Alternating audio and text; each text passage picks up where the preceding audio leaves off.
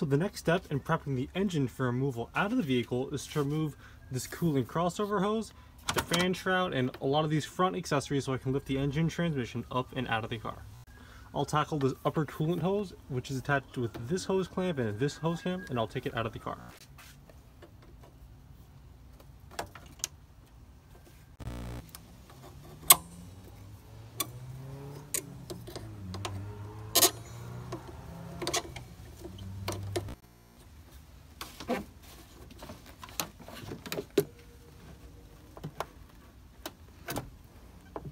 That is a lot of corrosion.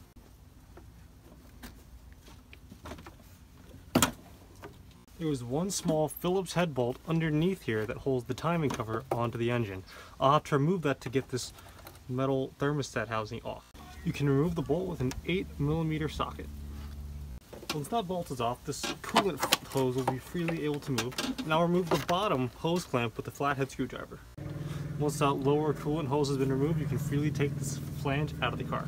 The next logical thing to remove out of the car will be the fan. Once the fan's out, I can take the fan shroud out and hopefully get this whole front area cleaned up. All the bolts around the fan are 10 millimeter.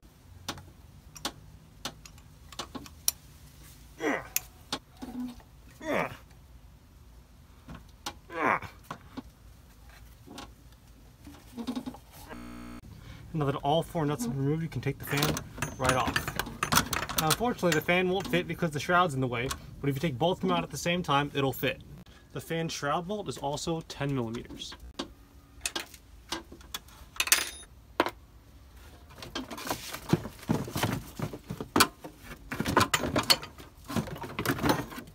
And there's the stock fan removed.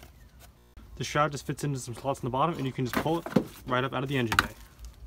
Now that this front of the engine's all exposed, we'll be able to a lot easier get the belts off and get a lot of the other accessories off. Since I removed the fan, that was the only thing keeping this pulley on, so I can just slip it right off. And you can just see how old and tattered this belt is from sitting. Since I'm already near it, I'll move this coolant flange so that I have a lot more room on this side of the engine bay. I'll try to take off this belt so I can get the entire accessory bracket off of the engine.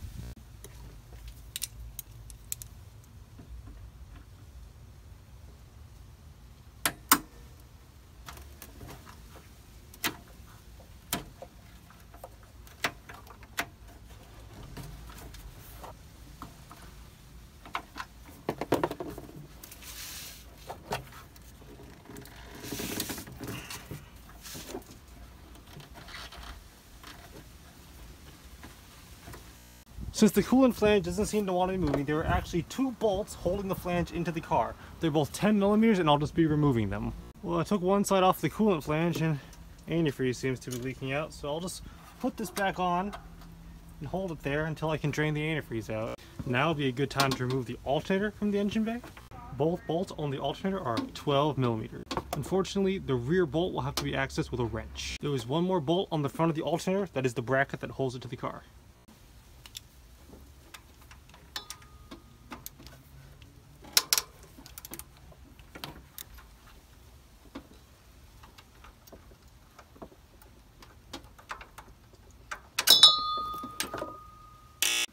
Now that all the bolts are removed, we should be able to move the alternator right out of the car.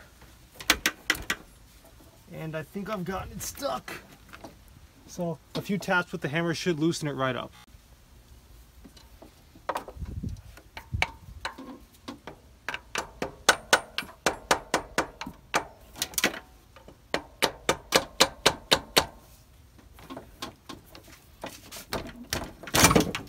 The alternator has some electrical connections on the back, and I'll be sure to mark the location of all these before I remove it out of the car permanently. The last thing to remove before I can get the entire the entire assembly cover off is this last belt attached to the power steering pump.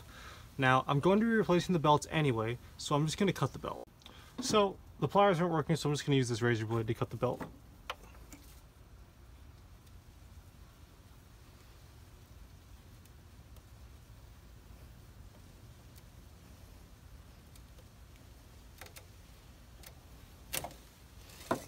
Look how crunchy that is. And off it comes. So now the next thing I'm going to try to remove is the crank pulley, which has a rather large nut that I can't really see what it is. So I'm just going to start feeling around for different sockets and see which one will fit.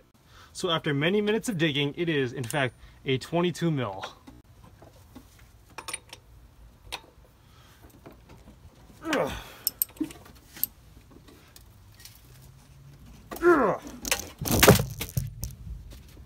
Sometimes I forget how stubborn these crank bolts are.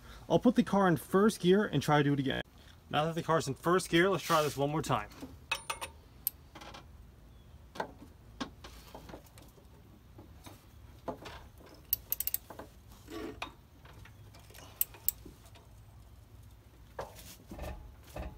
Duh!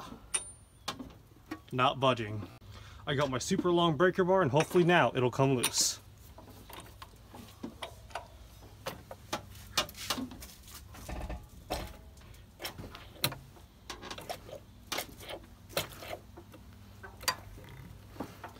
Ah, I feel like getting free.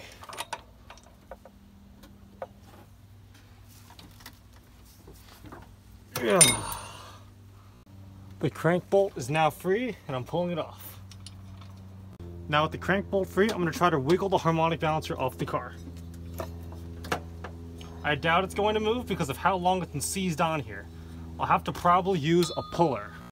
So I've mounted the puller onto the crankshaft and the purpose of the puller is since the harmonic balancer and the crankshaft are keyed, it's a friction fit so it won't come off easily. So if I use a puller, it'll hopefully be able to pull the harmonic balancer right off. I have a 14 millimeter socket on the end of the puller and I'll just be able to turn it with a ratchet.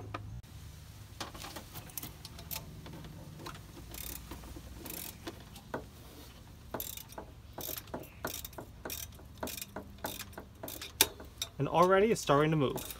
So in a previous clip I removed the harmonic balancer and now we just have a lone crank bolt sitting where the harmonic balancer will go. Next I'll be removing this upper this lower coolant hose and separating it from the vehicle and then I'll be tackling the exhaust. First I'll remove this coolant flange to separate it from the thermostat housing. I really dislike this type of clamp so I'll be replacing it with traditional hose clamps.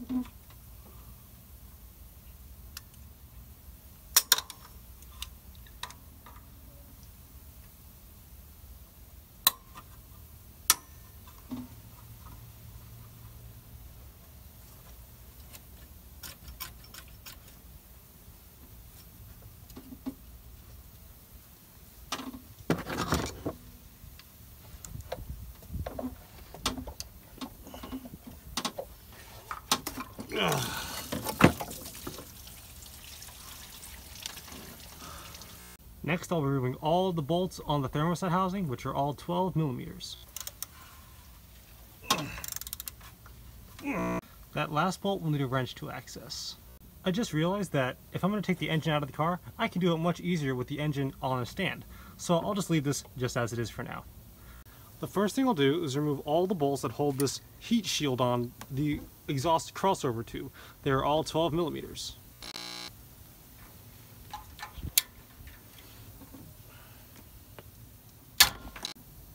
I'll try the other I'll side. try the other side because this because side this side really doesn't want really to doesn't want to budge.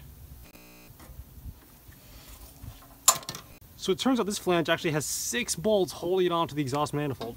So rather than mm, take all of these off, I'll just be disconnecting it down near the bottom.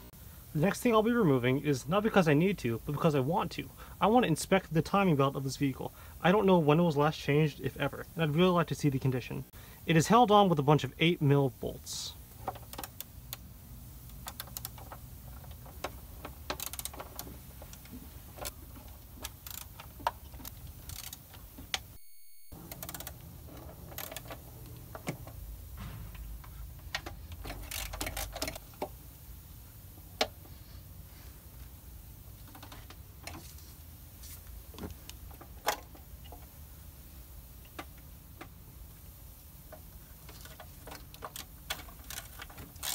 Yeah.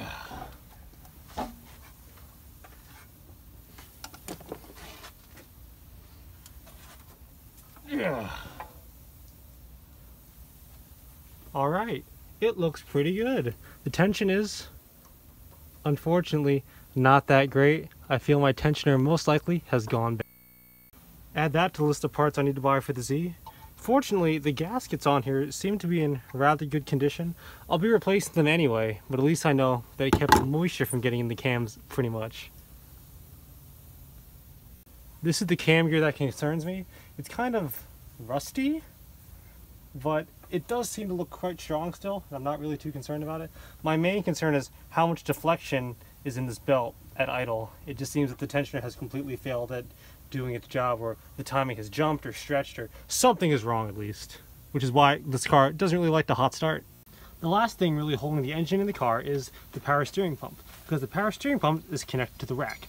Once I disconnect the power steering pump, I'll disconnect the motor mounts and then I'll be ready to take the engine out of the car finally. But first I'll have to remove this coolant overflow tank because it's really in the way. It is held on with two 10 millimeter bolts.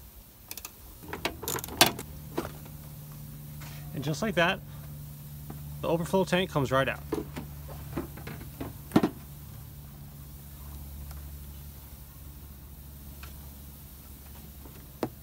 Next, I'll move the electrical connection from the power steering pump.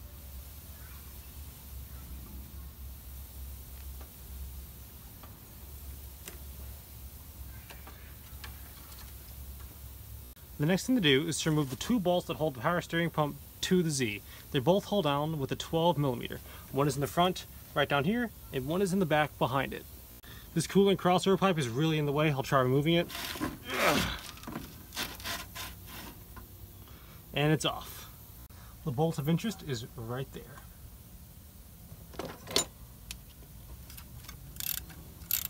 That is very loose. Just about finger tight. It is turning just so easily.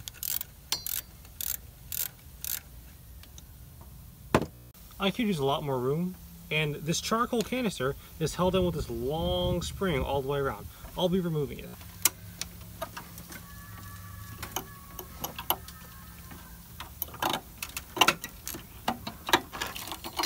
Just like that, the spring is released and the canister can fall. The canister has these vacuum lines holding it to the car, most likely for emissions. I'll just be removing them so I can get the canister off the car.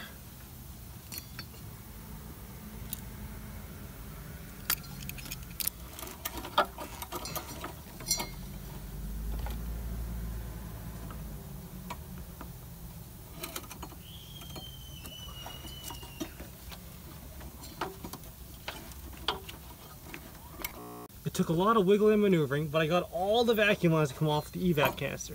Now that I've removed it, I can work on the car much easier. I have to remove the pulley off of the power steering pump so I can access the bolt behind it.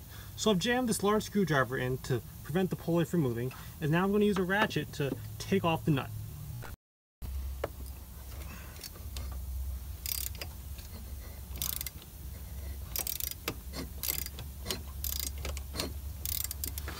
It doesn't seem to want to be coming off.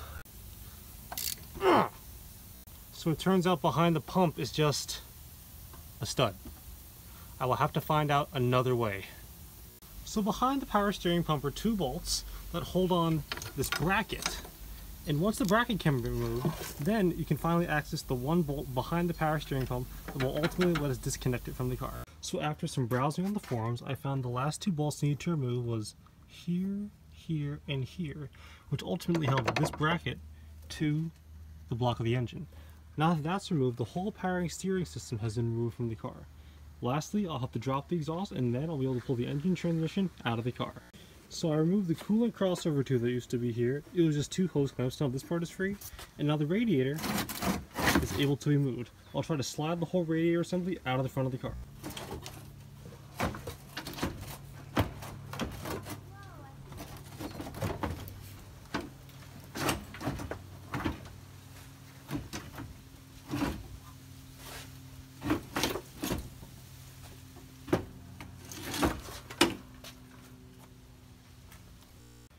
Now since this car has factory air conditioning, I want to preserve the condenser in the front.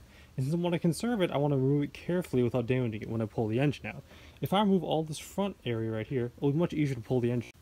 Underneath the car, there are two bolts that hold the evaporator in, the condenser in, up under here, and I'll be removing them to take it out. Both bolts under here fit in a slot right over there. They're both 10 millimeter.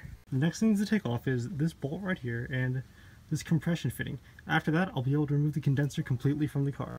This bolt is 12 millimeters. Compression fitting I just took off with a couple of pairs of vice grips and now that's disconnected and this main line has been disconnected.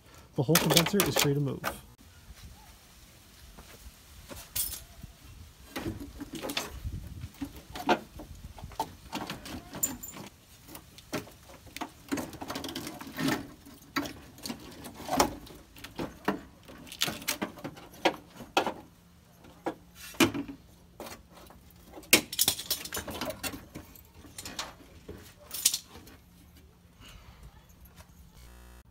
So there are three bolts that hold on the exhaust manifold to the exhaust downpipe.